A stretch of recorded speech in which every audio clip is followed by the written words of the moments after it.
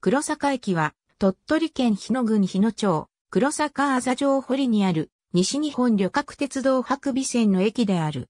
構内相対式2面2線のホームで、行き違い設備を有する地上駅である。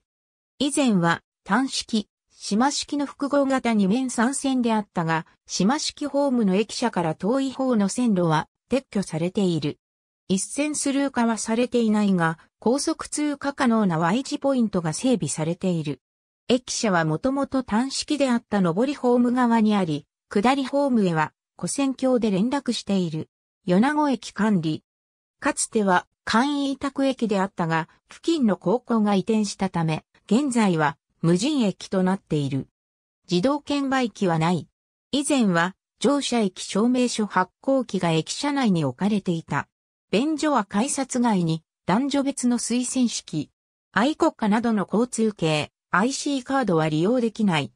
2017年3月時点で、ホームに乗り場番号表が整備されており、列車運転指令上の番線番号同様に、駅舎側を一番乗り場としている。1日の平均乗降人員は以下の通りである。バス乗り場は駅前にあり、それを示すポールが立っている。停留所の名称は黒坂駅前である。ありがとうございます。